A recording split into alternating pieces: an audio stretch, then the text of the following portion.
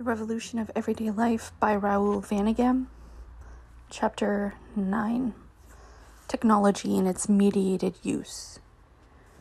Contrary to the interests of those who control its use, technology tends to disenchant the world. Mass consumption society strips gadgets of any magical value. Similarly, organization, a technique for handling new techniques, robs new productive forces of, the, of their subversive appeal and their power of disruption. Organization thus stands revealed as nothing but the pure organization of authority. Alienated mediations make man weaker as they become indispensable. A social mask disguises people and things. In the present stage of pri- privative appropriation, this mask transforms its wearers into dead things, commodities. Nature no longer exists. To rediscover nature means to reinvent it as a worthwhile adversary by constructing new social relationships. With the expansion of material equipment, the old hierarchical society is bursting at the seams.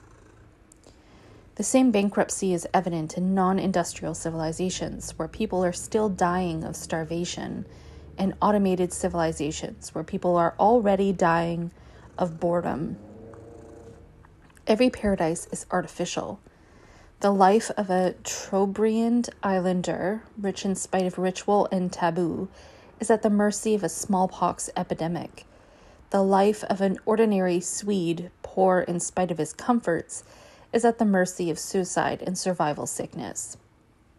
Rousseauism and pastoral idyls accompany the first throbbings of the industrial machine.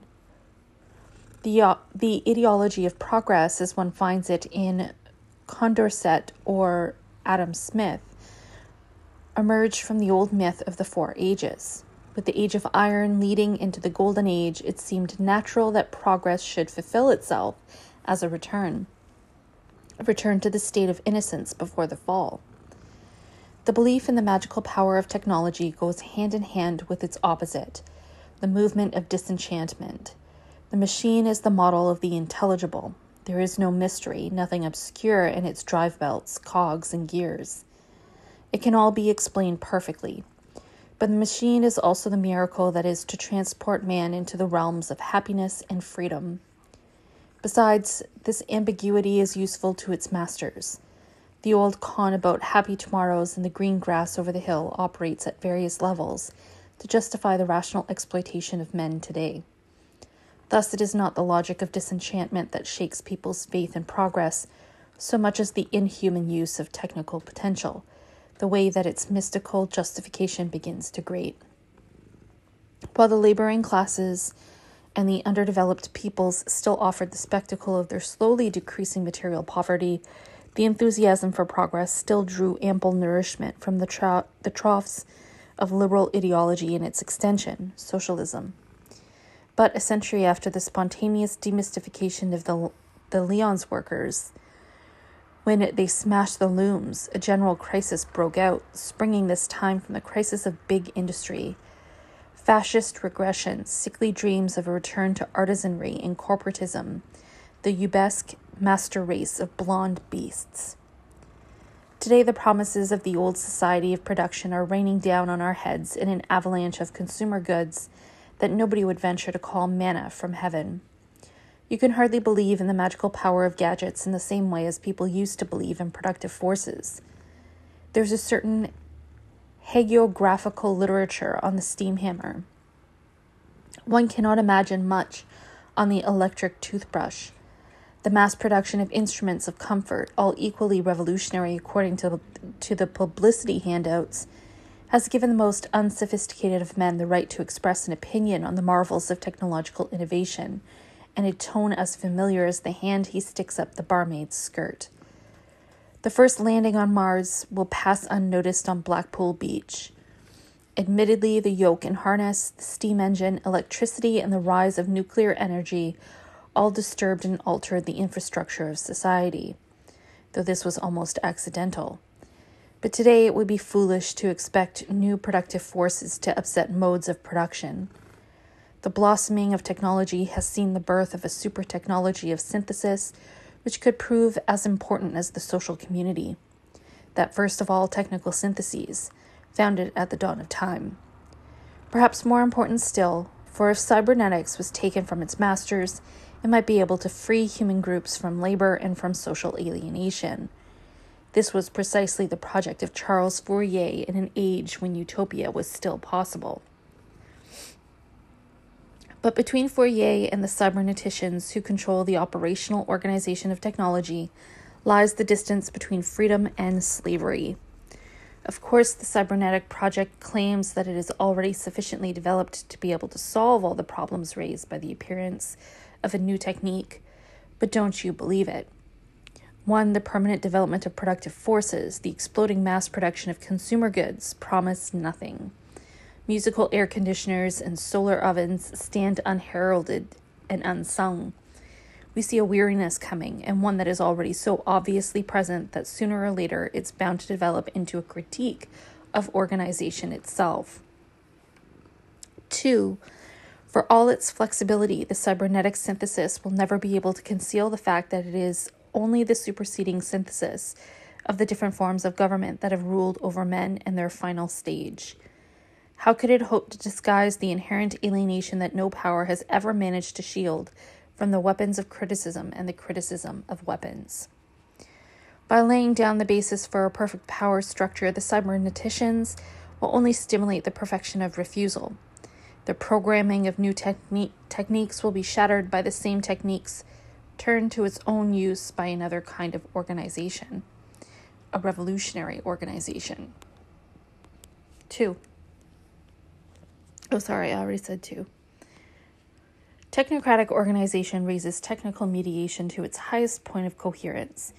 It has been known for ages that the master uses the slave as a means to appropriate the objective world, that the tool only alienates the worker as long as it belongs to a master.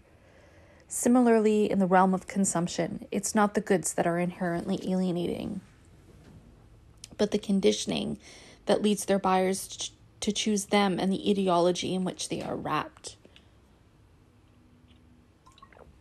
The tool in production and the conditioning of choice and consumption are the mainstays of the fraud.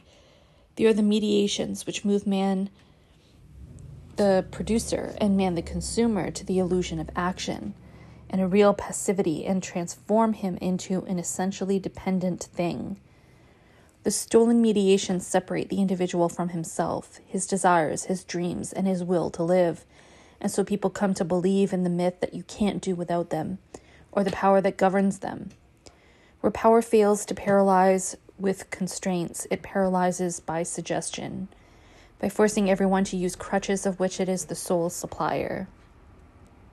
Power as the sum of alienating mediations is only waiting for the holy water of cybernetics to baptize it into the state of totality. But total power does not exist, only totalitarian powers. And the baptism of cybernetics has already been cancelled owing to lack of interest. Because the objective world, or nature if you prefer, has been grasped by means of alienated mediations, tools, thoughts, false needs it ends up surrounded by a sort of screen, so that paradoxically, the more man transforms himself in the world, the more it becomes alien to him. The veil of social relations envelopes the natural world totally. What we call natural today is about as natural as nature girl lipstick.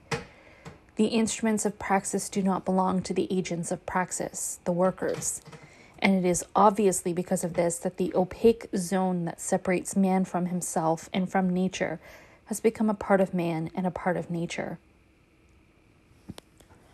Our task is not to rediscover nature, but to make a new one, to reconstruct it.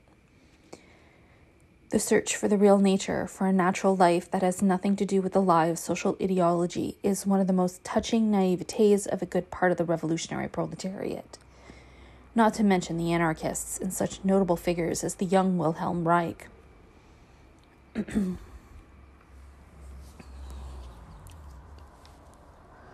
In the realm of the exploitation of man by man, the real transformation of nature only takes place through the real transformation of the social fraud. At no point in their struggle have man and nature ever been really face to face. They have been kept apart by what mediates this struggle hierarchical social power and its organization of appearance. To transform nature was to socialize it, but they certainly made a mess of the job. There is no nature other than social nature, since history has never known a society without power. Is an earthquake a natural phenomenon? It affects men, but it affects them only as alienated social beings. What is an earthquake in itself? Suppose that at this point there was an earthquake disaster on Alpha Centauri. Who would it bother apart from the old farts in the universities and other centers of pure thought? And death. Death also strikes men socially in the first place because the energy and resources poured down the drain of militarism and wasted in the anarchy of capitalism and bureaucracy could make a vital contribution to the scientific struggle against death. But above all, because it is in the vast lab- lab- laboratory of society and under the benevolent eye of science that the foul brew of culture in which the germs of death are spawned is kept on the boil. Stress, nervous tension, conditioning, pollution, latrogenic disease. Only animals are still allowed to die a natural death, some of them. Could it be that after disengaging themselves from the animal world by means of their history, men might come to envy the animal's contact with nature? This is, I think, the childish meaning which should be seen in the search for the natural. But if we could enrich it and set it off in the right direction, such a desire would mean that we had superseded 30,000 years of history. What we have to do now is to create a new nature that will be a worthwhile adversary. That is, to re socialize it by liberating the technical apparatus from the sphere of alienation, by snatching it from the hands of rulers and specialists.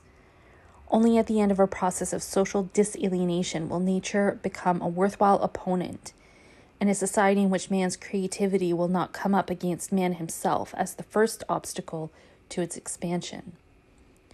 Technological organization can't be destroyed from the outside.